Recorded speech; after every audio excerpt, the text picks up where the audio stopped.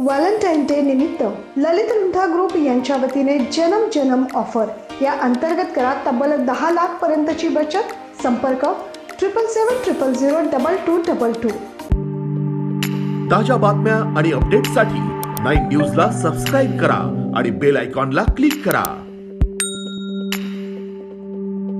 चांदवड नाशिक महामार्गावरील मंगळूर शिवारात आज दुपारी दोन वाजेच्या सुमारास शेतकरी बाळू चिंतामणन निर्भावणे हे त्या बाजूने गेले असता पुलाखाली अज्ञात अनोळखी पंचवीस ते तीस वयोगटातील व्यक्तीचा मृतदेह दिसल्याने त्यांनी तात्काळ चांदवड पोलीस स्टेशनचे पोलीस निरीक्षक समीर बारवकर यांना माहिती दिली.